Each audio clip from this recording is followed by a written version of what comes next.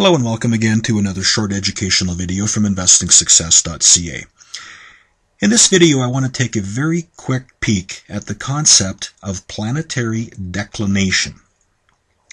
Now as we know, planets, including the planet Earth, move around the Sun in a plane of motion. That plane of motion is referred to as the ecliptic. However, all is not perfectly balanced in that plane of motion called the ecliptic. You see, as a planet moves around the sun in the plane called the ecliptic, that planet will experience a little bit of wobble. It's not perfectly balanced within that plane. So over time, as the planet moves around the sun, it may be slightly above the ecliptic, and then it will fall back to being at the ecliptic. It will fall to below the ecliptic, and then it'll come back up to the ecliptic and get above and this this process of going from above the ecliptic to being at the ecliptic to below and back again continues to repeat itself over and over and over again. Now I've been looking at this planetary motion, this wobble of the planets that we call declination. I've been looking at it in the context of price swings on stocks and commodities. I've got a lot of work to do yet but uh, making progress, and I want to share a little bit of that with you today. Here's a chart of copper, December 2013 uh, copper futures, daily chart.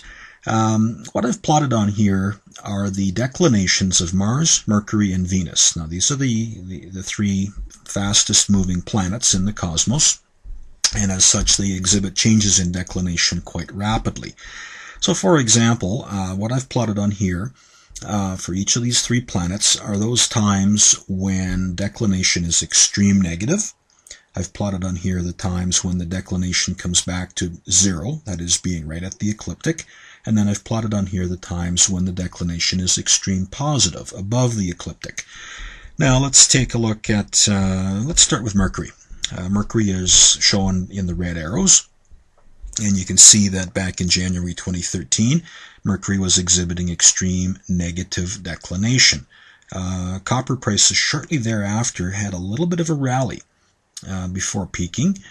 And um, in April 2013, we had uh, Mars and Venus both around about the same time reaching zero declination. And look what happened right after that. Copper prices fell. And oddly enough, they stopped falling just as Mercury was going through zero declination, and prices peaked roughly around the time when Mercury reached extreme positive declination.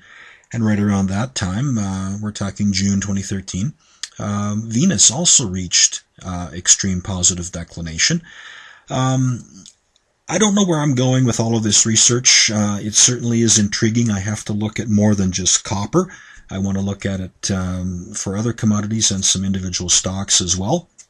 But I do think that there is a relation between uh, the declination of these fast moving planets and human emotion. And remember that it is human emotion uh, that causes us to buy or sell. It is human emotion that ultimately is the, the driver, the, the influencer of the financial markets.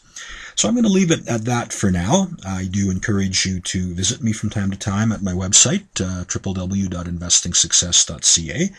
Um, take a look at the new service that we've uh, recently introduced, uh, the Astrological E-Alert. Um, take a look at some of my blog posts on astrologicaltrading.wordpress.com. And uh, if you'd like to dabble more in financial astrology, um, if you're having some doubts about the whole thing, perhaps the bull, the bear, and the planets will convince you that there's more to the financial markets than what you may think.